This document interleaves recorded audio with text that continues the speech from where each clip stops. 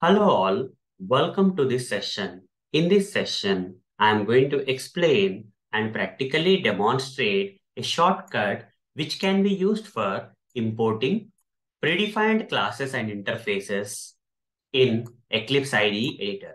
So let's get started. So the shortcut that I am talking about is Control Shift and M. Okay.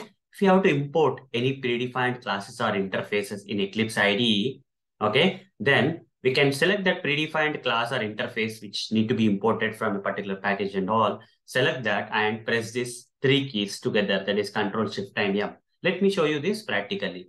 Let's switch to this Eclipse IDE. Here we have a project which is already configured with Selenium library. And uh, here we have a class. Inside the class, we have the main method. Inside the main method, I'm going to write some Selenium automation code. You can write any code. It's not about Selenium automation. Any code. It can be Java code. It can be Selenium code. Let me write some Selenium code, okay? I'll, hmm. I'll create something like WebDriver driver is equal to new Chrome driver like this, okay? Then you see, if I have to manually import this WebDriver, I have to hold the mouse and select this option, import WebDriver option from Selenium library, okay? From Selenium, we have to import this WebDriver interface. Similarly, if I have to manually import this Chrome driver, hold the mouse and select this import Chrome driver thing, okay? That is general thing that people will do. So instead of doing that, instead of hovering the mouse and selecting that option, what you can else do is just select that predefined interface or class. Okay, just select the predefined interface or class, which is giving that uh, error. Okay, just select that and press Control Shift M. That's it. You see, if there is only one import statement, it will be automatically imported. You don't have to hover and press uh, select that option using your mouse. Select this, Control Shift M, you just say done. This may save time sometimes, okay? Or many times also, okay? There may be some situations where there may be multiple import statements, okay? The class, predefined class or interface that you want to import may belong to multiple libraries, okay? I'm going to show an example of a predefined class, uh, which uh, not only belongs to Selenium library, but also belongs to Java library. So let me write the statement. What will happen? Let's see. Throw new, okay? No such element exception. Okay, there is a no such element exception class in Java and also in Selenium. Okay, so here I'll put a semicolon.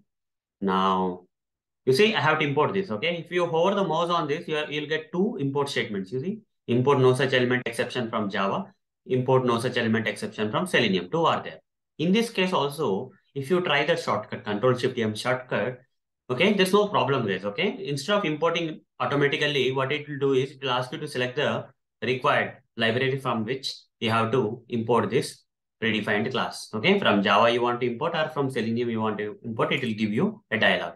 You select this and press Control Shift M keys together and you'll get this add import. And since it is confused, okay, it cannot automatically import, right? If there is only one import statement, like WebDriver or Chrome driver, it would have automatically imported, okay? They would have automatically added this import statements. But in this case of no such element uh, exception, uh, something is from Java library and also we have this no such element class from Selenium library. I'll go with the Selenium library and say, okay, guys.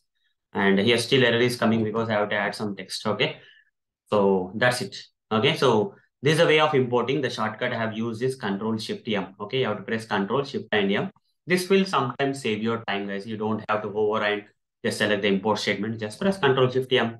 That's it. Select. Select the class that need to be imported or select the interface that need to be imported and without thinking much, press Control Shift M. If it is only one import statement, it will save your time. Okay. So hope guys you understood this session. Thank you. Bye.